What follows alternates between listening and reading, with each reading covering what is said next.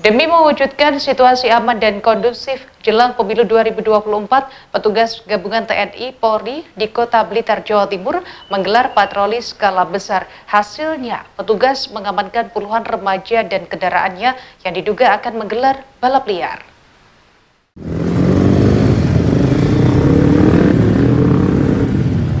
Puluhan remaja berhamburan melihat kedatangan personil gabungan TNI Polri di Kompleks Terminal Patria Kota Blitar, Jawa Timur.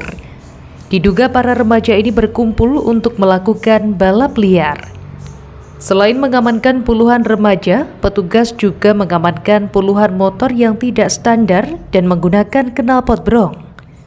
Oleh petugas kemudian diangkut menggunakan truk dan dibawa ke Mapolres Blitar Kota. Kapolres Blitar Kota, AKBP Danang Setio mengatakan puluhan remaja tersebut diamankan saat petugas melakukan patroli berskala besar jelang pemilu 2024. Total, sebanyak 46 kendaraan yang tidak sesuai standar dan menggunakan knalpot brong berhasil disita oleh petugas. Kegiatan patroli gabungan tiga pilar dari Polres Kota, TNI dari Polri Selatan dan Batalion satu. Kegiatan ini dilaksanakan dalam rangka mengantisipasi kegiatan masyarakat khususnya keamanan yang kejadian 3C, balap liar dan sekaligus untuk sosialisasi penertiban penggunaan knalpot brong.